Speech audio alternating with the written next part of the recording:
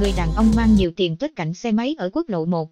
Người đàn ông được phát hiện tử vong cạnh chiếc xe máy, cảnh sát kiểm tra, phát hiện nạn nhân mang theo số tiền lớn. Đến hơn 7 giờ sáng 10 tháng 4, lực lượng chức năng quận Bình Tân, thành phố Hồ Chí Minh mới hoàn tất công tác khám nghiệm hiện trường và đang điều tra nguyên nhân tử vong của người đàn ông được phát hiện nằm bên cạnh xe máy.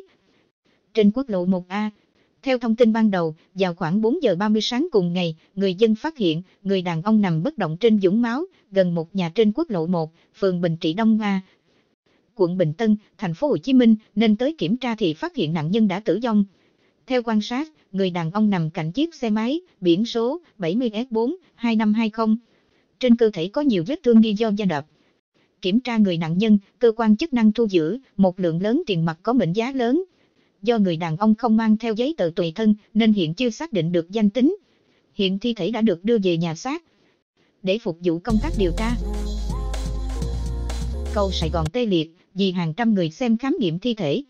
Sáng 10 tháng 4, thi thể nạn nhân được ông Ba Trúc, người chuyên vớt xác và cứu người trên sông Sài Gòn, phát hiện và đưa vào gần bờ. Khu vực dưới chân cầu Sài Gòn, phía phường Bình An, quận 2, thành phố Hồ Chí Minh. Trong lúc này, nhiều người hiếu kỳ đã bắt đầu tập trung đông để theo dõi và càng tăng hơn khi các đơn vị chức năng đến khám nghiệm hiện trường.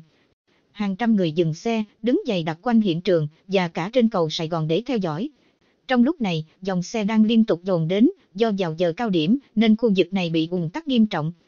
Hàng ngàn xe phải xếp hàng, nhích từng chút để di chuyển.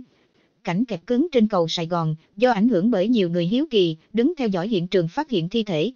Qua khám nghiệm, lực lượng chức năng cho biết, bước đầu nạn nhân được xác định là anh Nguyễn Thế Anh 24 tuổi, quê Thanh Hóa, người nhảy cầu Sài Gòn tự tử cách đây hai hôm.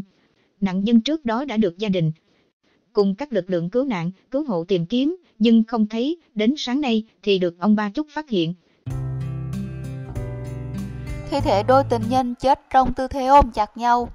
Tối 27 tháng 3, lực lượng chức năng tỉnh Đắk Nông đã vớt được thi thể của hai nạn nhân là anh Nguyễn Văn Bình, 19 tuổi, trú ở tỉnh Đắk Lắk và chị Vũ Thị Lan Anh, 18 tuổi, trú ở xã Đắk Rin, huyện Đắk Lắk, tỉnh Đắk Nông. Lúc vớt được thi thể nạn nhân, hai người trong tư thế ôm chặt nhau. Trước đó vào khoảng 16 giờ cùng ngày, một người dân đi đến khu vực bờ hồ trung tâm thị xã Gia Nghĩa, tỉnh Đắk Nông thì phát hiện chiếc xe máy mang biển số 48B1 06122 dựng trên bờ cùng một số vật dụng cá nhân như quần áo, giày dép để lại nên trình báo cơ quan chức năng. Nhận được tin báo, lực lượng công an thị xã Gia Nghĩa cùng lực lượng cảnh sát phòng cháy chữa cháy, công an tỉnh Đắk Nông tổ chức lặn tìm kiếm. Sau nhiều giờ tìm kiếm, lực lượng chức năng đã vớt được hai thi thể nạn nhân trong tư thế ôm chặt lấy nhau. Theo một người bạn làm cùng nạn nhân, anh Bình và chị Lan Anh cùng tới thị xã Gia Nghĩa làm tiếp viên cho quán nhậu và quán cà phê. Cách đây hơn một năm, cả hai quen nhau và yêu nhau.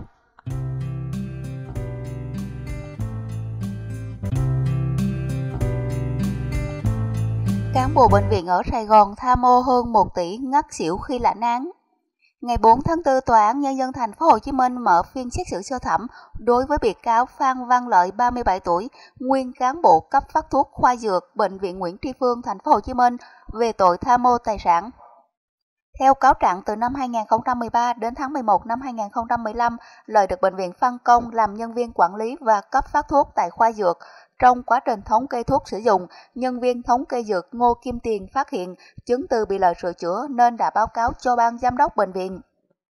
Ngày 10 tháng 11 năm 2015, ban giám đốc đã ra quyết định thanh tra khoa dược và phát hiện lợi chiếm đoạt một lượng lớn thuốc đem ra ngoài bán. Cụ thể, từ tháng 8 năm 2014 đến tháng 10 năm 2015, lợi chịu trách nhiệm cấp phát 98 loại thuốc. Tuy nhiên, anh ta đã chiếm đoạt 41 loại. Để che giấu hành vi phạm tội, Lời đã sửa chữa 186 phiếu trả lại thuốc, hóa chất, vật dụng y tế tiêu hao, làm giảm số thuốc trên phiếu so với số thuốc nhận lại. Sau khi phát thuốc theo mẫu, Lợi nói dối điều dưỡng là thuốc bị âm nên anh ta cho mượn yêu cầu điều dưỡng hoàn trả thuốc trên máy tính, làm phiếu mượn thêm các loại thuốc. Tổng số tiền thuốc mà Phan Văn Lợi chiếm đoạt là hơn 1 tỷ đồng. Sau khi nghị án, hội đồng xét xử tuyên phạt Phan Văn Lợi 15 năm tù về tội tham mô tài sản, bị cáo ngất xỉu nên phải nhờ sự hỗ trợ của nhân viên y tế. Đối với lãnh đạo khoa dược Bệnh viện Nguyễn Tri Phương do tin tưởng lợi nên không phát hiện việc tham mô thuốc chữa bệnh, hậu quả vụ án cũng đã được khắc phục nên không xem xét trách nhiệm hình sự.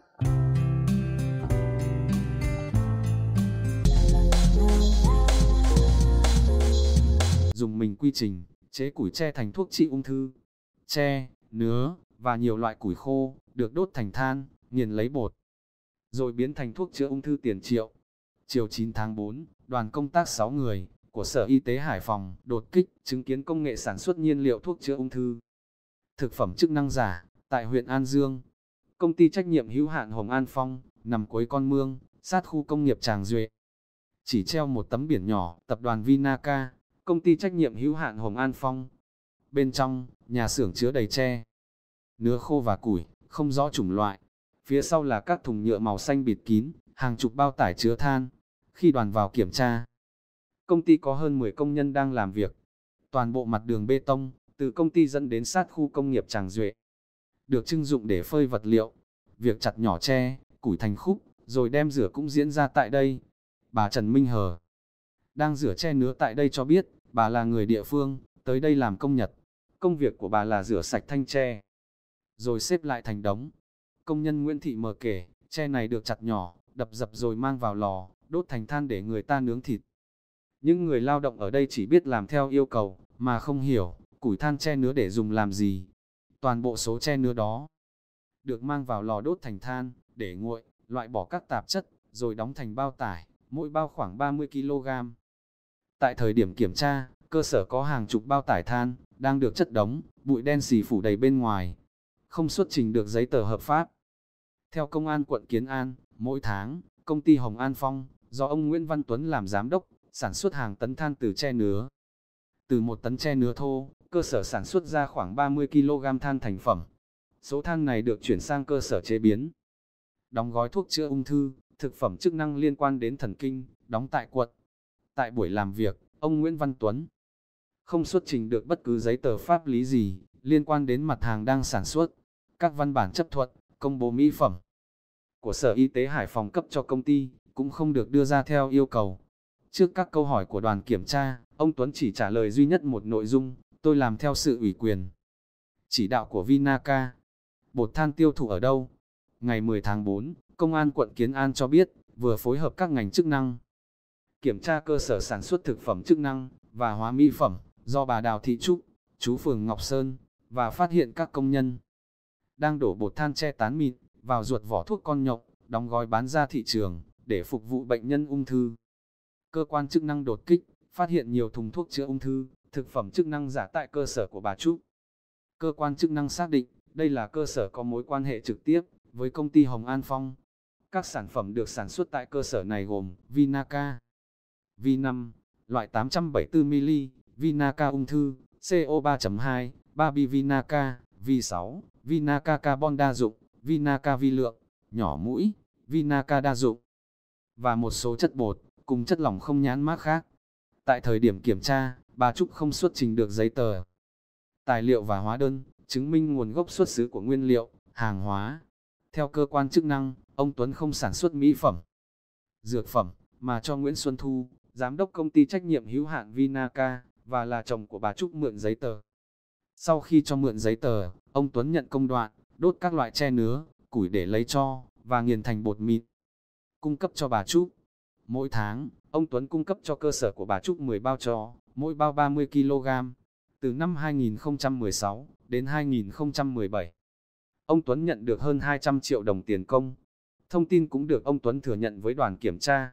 Tuy nhiên, ông nói mình chỉ đốt than, nghiền than, rồi chuyển sang cơ sở bên Kiến An, còn bên đó làm gì ông không rõ. Theo tài liệu điều tra, các sản phẩm của công ty, trách nhiệm hữu hạn Vinaca, đã được phân phối rộng rãi, tại nhiều tỉnh thành trên cả nước. Theo hệ thống riêng, các sản phẩm này đang được giao bán trên mạng, và tại các cửa hàng, với giá từ vài trăm đến vài triệu đồng trên đơn thuốc. Phó Giám đốc Sở Y tế thành phố Hải Phòng, Nguyễn Tiến Sơn xác nhận, Sở đã cấp giấy tiếp nhận công bố sản phẩm. Mỹ phẩm gồm Vinaca Carbon đa dụng, tẩy mùi hôi cơ thể, ung thư vi 3, tẩy mùi hôi cơ thể vi 4, 3B V6, tỉnh táo vi 7 lái xe. Học tập căng thẳng, mệt mỏi cho công ty trách nhiệm hữu hạn Hồng An Phong, có trụ sở tại xã Hồng Phong, huyện An Dương.